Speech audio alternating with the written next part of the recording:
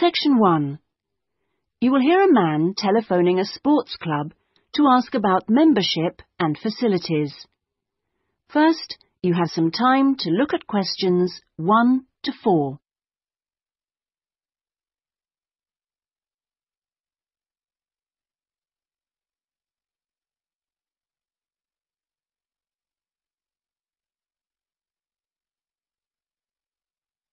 You will see that there is an example that has been done for you.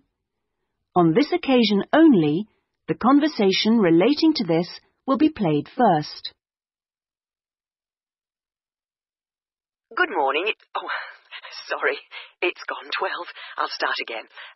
Good afternoon. Kingswell Sports Club. How can I help you? Oh, good afternoon. I was wondering if you could give me some information about membership and facilities. The name of the sports club is Kingswell, so Kingswell has been written in the space. Now we shall begin. You should answer the questions as you listen, because you will not hear the recording a second time.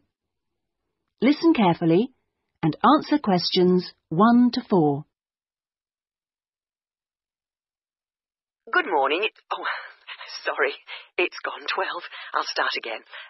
Good afternoon. Kingswell Sports Club. How can I help you? Oh, good afternoon.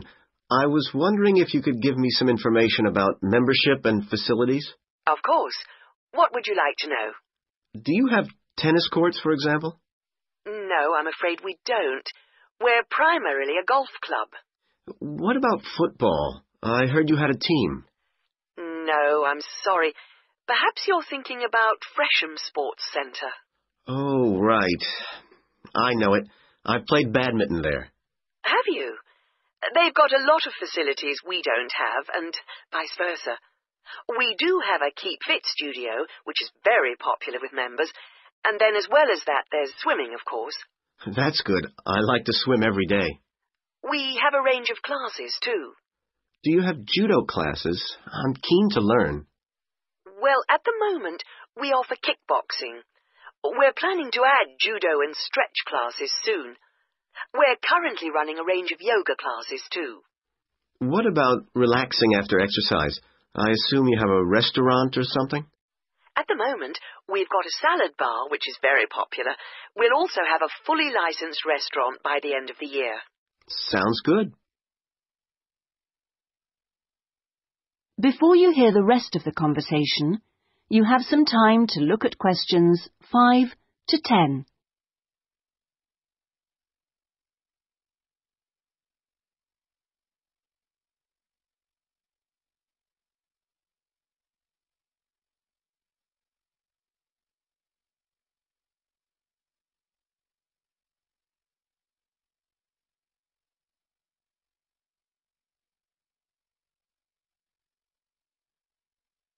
Now listen and answer questions 5 to 10. What kind of membership are you interested in? Um, not really sure. Uh, what are the options? Well, there are three different membership schemes. I see. What's the difference? Well, the first one's called Gold, and you can use all the facilities at any time of the day or week. You can also join in as many classes as you like for free. That sounds good. Is it very expensive? Well, you pay a £250 joining fee, and then it's £450. Oh, no, I'm sorry. It's just gone up by £50. sorry about that. It's now £500 for the annual subscription fee. Right, got that. And what's the next type? Well, that's silver. It's the same as gold, except you have to pay a small fee of one pound per lesson for any you do, and you can only use the centre at certain times. I see. So when exactly? You can only use the facilities between 10 a.m. and 4.30 p.m. So I couldn't use the pool at 8 in the morning or evening then? That's right. Okay, and the price for that? Is the joining fee the same as for gold? Actually, it's slightly less than the £250. It's £225. But the annual fee is only £300. Does that sound more like what you want? Well, it's still rather more expensive than I thought. I'm a student here in England, and I'm only here for six months. Ah, then the bronze scheme would probably suit you best. Uh, how is that different? Well, some of the facilities have restricted use. And do I have to pay for classes? Yes, it's three pounds for each class you join. I see. And what are the hours then? Between 10.30 and 3.30 weekdays only, and you pay a £50 joining fee. The annual fee is £180. It works out at £15 a month, so that would be quite a lot cheaper. Oh, that should be all right. I could come in my free periods. What do I have to do if I want to join? Well, we book you in for an assessment with an instructor who will show you how to use all the equipment. If you want to organise a trial session and look around the centre, you'll need to speak to David Kynchley. Hmm, could you spell that, please? Yes, David, K Y N C H L E Y. I'll give you his direct line number. It's 0458 95311. Thanks. Thank you for calling Kingswell Sports Club. That is the end of section one. You now have half a minute to check your answers.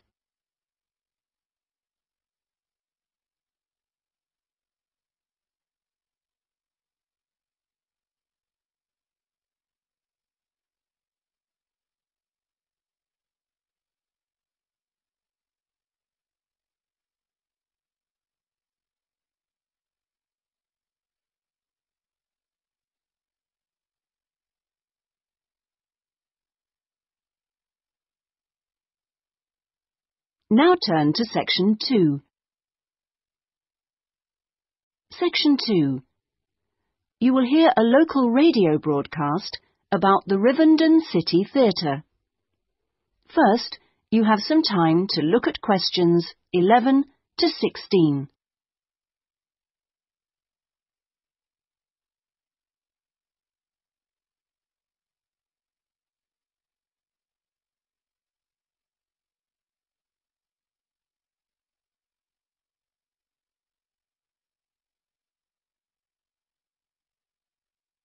Now listen carefully and answer questions 11 to 16.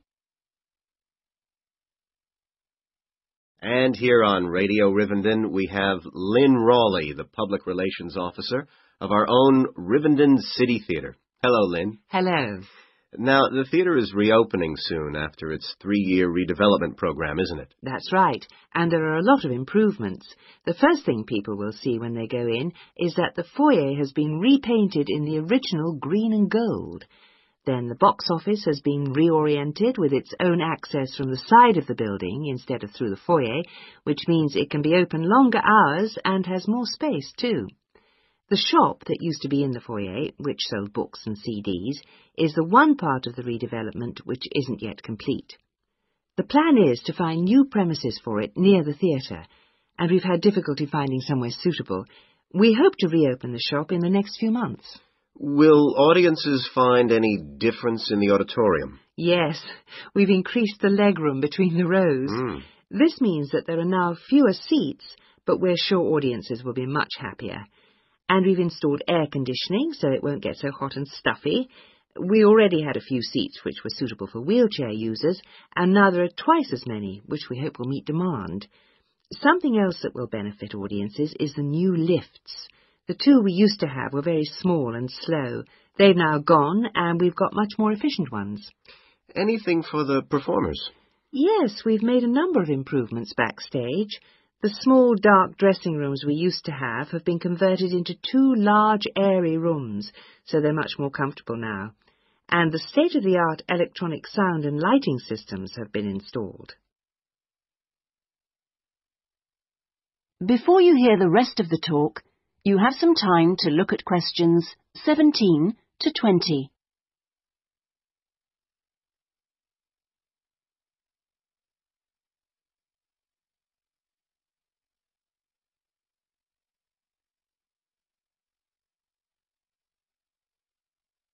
Now listen and answer questions 17 to 20. Okay, so what's the first play that audiences can see when the theatre reopens? We've got a very exciting production of Peter Shaffer's Royal Hunt of the Sun, which is currently touring the country. Mm-hmm. That starts on October the 13th and runs till the 19th. We're experimenting a bit with the time the curtain goes up. We used to start all our performances at 7.30, but that made it difficult for people to go home by public transport. So instead, we're beginning at 7, because at 9.45, when it finishes, there are still buses running. Uh-huh. Tickets are already selling fast. The Friday and Saturday performances sold out almost immediately, and in fact now there are only tickets for Monday and Thursday.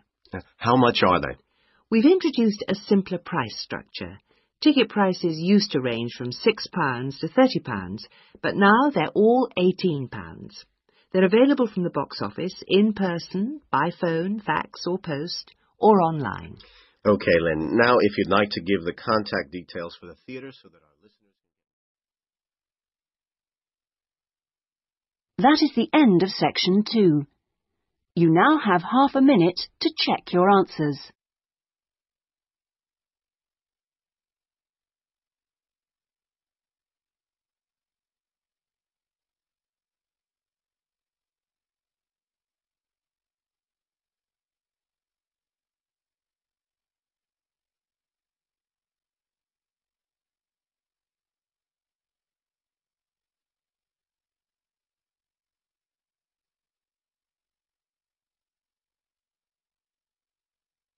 Now turn to section 3.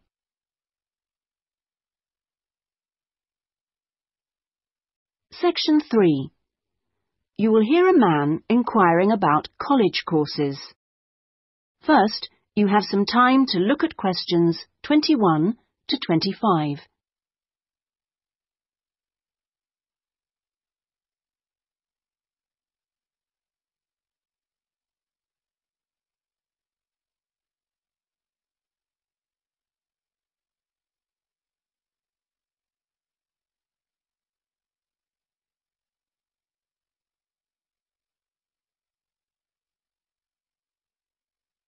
Now listen carefully and answer questions 21 to 25. Hi, can I help you? I was told to come here because I'd like to talk to someone about taking a management course. Right, I'm one of the tutors, so I should be able to help you. Oh, good. Uh, my name's Brian Ardley. I've decided to enrol on a part-time management course. A friend of mine took one last year and recommended it to me. Right. Is there anything I should do before the course, like reading or anything? We prefer to integrate reading with the course, so we don't give out a reading list in advance. But we like people to write a case study describing an organisation they know.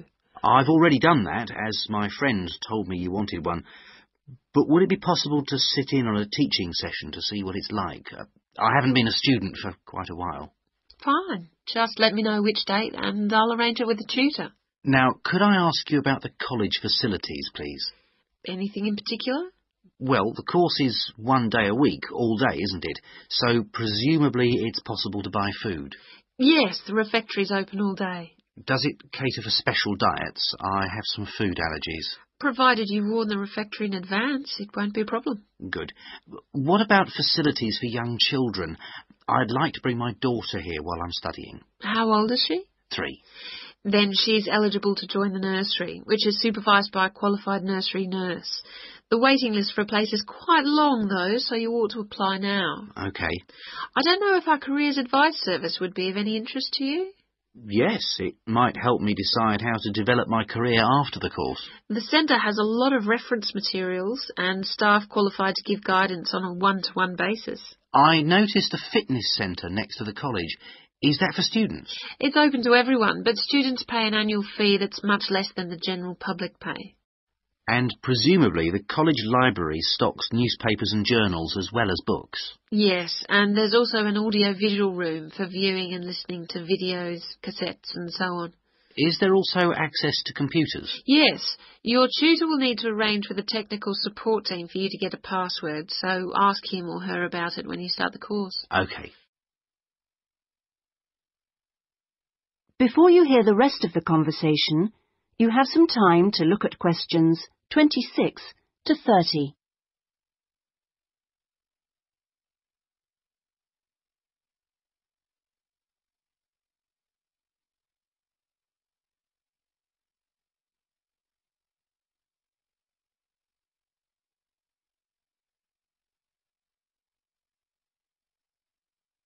Now listen and answer questions 26 to 30. By the way, do you know about our business centre? No, what's that? It's a training resource, a collection of materials for people to study on their own or use in their own organisations. Uh-huh. You mean books and videos? Yes, and manuals for self-study, plus a lot of computer-based materials so people can work through them at their own speed and repeat anything they aren't sure about. And you can hire laptops to use in your own home or workplace, as well as printers that you can take away. Does it have anything that I could use to improve my study skills? I don't have much idea about report writing, and I'm sure I'll need it on the course. Oh, yes, there's plenty of useful material. Just ask one of the staff. Does the centre cover all the main areas of business? Yes, topics like finance and, of course, marketing, that's a popular one.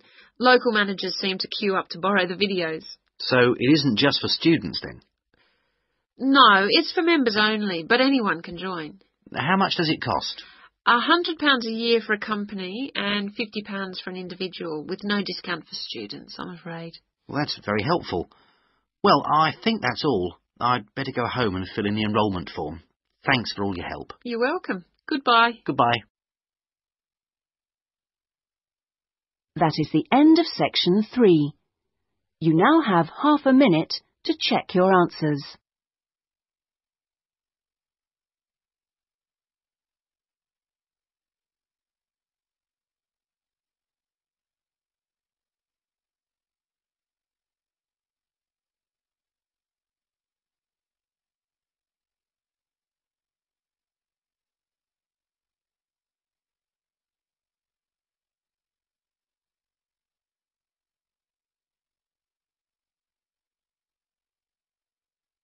Now turn to section 4. Section 4. You will hear a talk on a social history of the East End of London. First, you have some time to look at questions 31 to 40.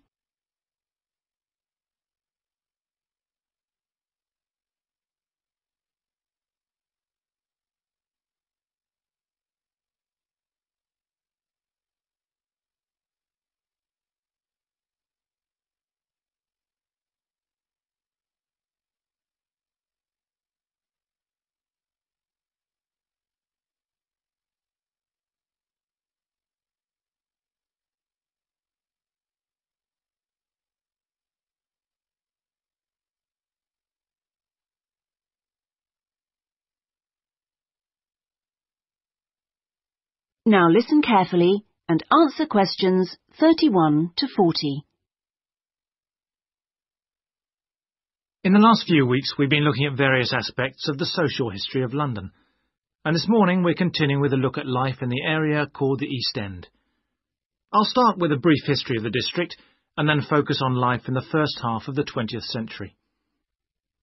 Back in the 1st to the 4th centuries AD, when the Romans controlled England, London grew into a town of 45,000 people, and what's now the East End, the area by the River Thames and along the road heading north-east from London to the coast, consisted of farmland with crops and livestock, which helped to feed that population. The Romans left in 410, at the beginning of the 5th century, and from then onwards, the country suffered a series of invasions by tribes from present-day Germany and Denmark, the Angles, Saxons and Jutes, many of whom settled in the East End. The technology they introduced meant that metal and leather goods were produced there for the first time. And as the East End was by the river, ships could transport goods between there and foreign markets. In the 11th century, in 1066 to be precise, the Normans conquered England, and during the next few centuries London became one of the most powerful and prosperous cities in Europe. The East End benefited from this, and because there were fewer restrictions there than in the city itself, plenty of newcomers settled there from abroad, bringing their skills as workers, merchants, or moneylenders during the next few hundred years. In the 16th century, the first dock was dug, where ships were constructed, eventually making the East End the focus of massive international trade. And in the late 16th century, when much of the rest of England was suffering economically, a lot of agricultural workers came to the East End to look for alternative work. In the 17th century, the East End was still a series of separate, semi-rural settlements. There was a shortage of accommodation, so marshland was drained and built on to house the large numbers of people now living there. By the 19th century, London was the busiest port in the world, and this became the main source of employment in the East End. Those who could afford to live in more pleasant surroundings moved out, and the area became one where the vast majority of people lived in extreme poverty and suffered from appalling sanitary conditions.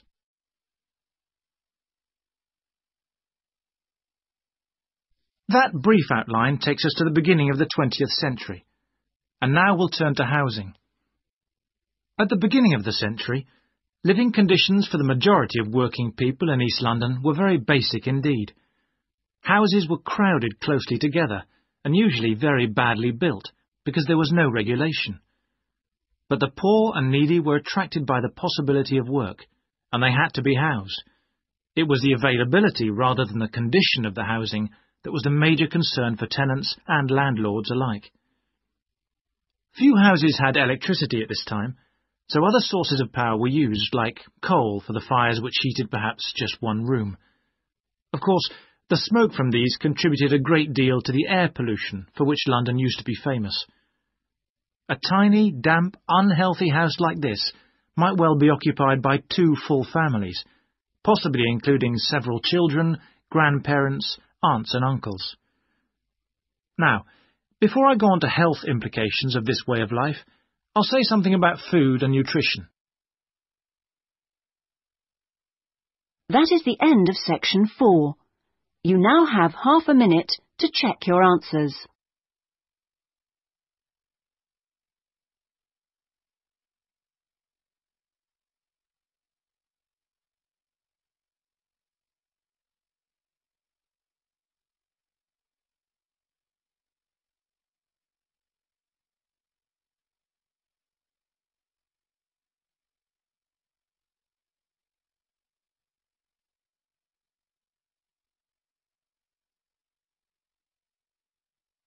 That is the end of the listening test. In the IELTS test, you would now have 10 minutes to transfer your answers to the listening answer sheet.